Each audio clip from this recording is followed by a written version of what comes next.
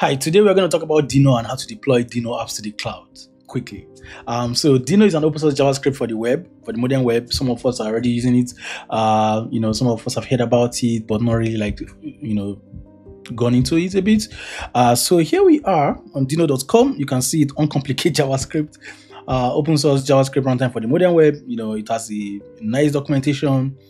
Um, you can see how to install it here. I already have this locally and you know just a lot of you know documentation around, around like the features uh you know apis and everything that you can do with it. So you can go to the docs and you can see a lot of this, of these things here like a lot of examples and apps.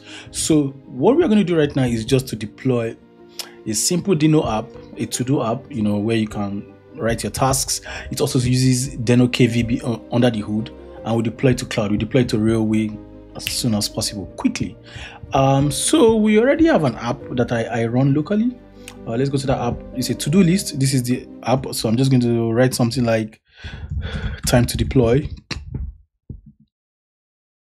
just going to add that. I'll say uh, where do we deploy to? And let's deploy to railway. all right so this is Deno app i'm running locally. Uh, so you can go ahead and edit. Let's deploy to railway in less than a minute. And save.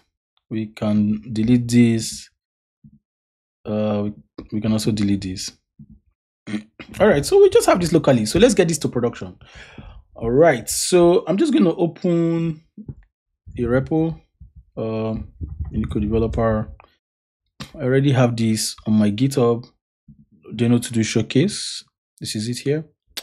By the way, I did not write this code. Uh, this code comes from you know one of the examples repos of you know Deno itself, uh, as you can see here. So I just cloned it and um, enabled the KV API locally, uh, and I'm going to show you how I did that.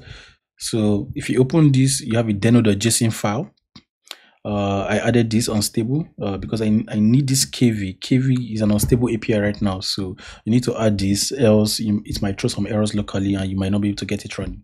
So I added this. You can you can see this and check it out. I'm also going to add a link to just you know at the description of the video. Uh, so don't worry about it. So this is it. We have the the repository uh, we have this locally we have tried it. Now it's time to deploy to railway. So i'm just going to come here and go to railway.com i'll go to my dashboard and we'll just open a new repository. So i mean a new project. So i'm just going to say Deno okay this is it. Deno to do sh showcase. So this is it. So now railway is going to try to deploy this app this Deno app right now.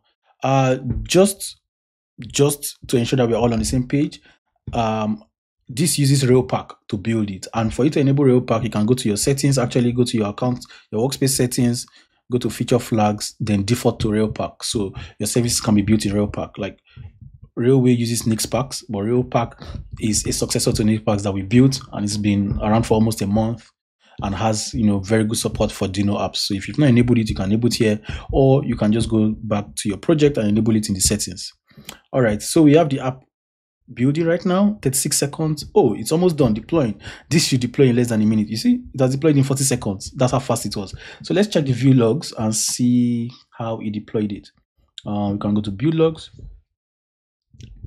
And we can see. So railpack the version of railpack it de detected that this app is a Deno app you know Deno 2.2.4 and then it, it loaded the main file and then it prepared it and like that and it built and now we have Deno running.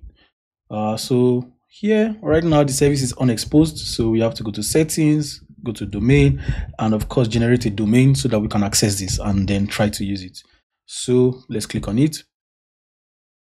Tada! We have our app showing up so this is showing up already as a Deno app and let's add it to the item. So yes, we deployed a Deno app to Railway in less than a minute. All right. So we click add, that's added successfully. Um, this is so cool. Uh, I want to do this again. Add. So here we have our to-do list app running on Railway. We deployed it in less than a minute. So fast. And then we can go ahead and you can go ahead and edit. I want to do this again and again and save. Uh, we can go ahead and delete this and then we can go ahead and uh, maybe add a full stop here and save again. So we can add as many things as possible and this will keep running. So if we go back to our app now and just check the deployments, check the logs. So you can see it, it opened a stream and then it's just it's just working. You don't even have to set up anything. It just works out of the box because of Railpack. So this is amazing. If you have any Deno apps, please go ahead and deploy to Railway. Share your thoughts and your feedback in the comment section, and you can also reach us out, you know, in any of our Twitter handles, or you can go to our central station, station station.railway.com. And I can't wait to see all the Deno apps you deploy to the cloud. I'll see you next time. Bye.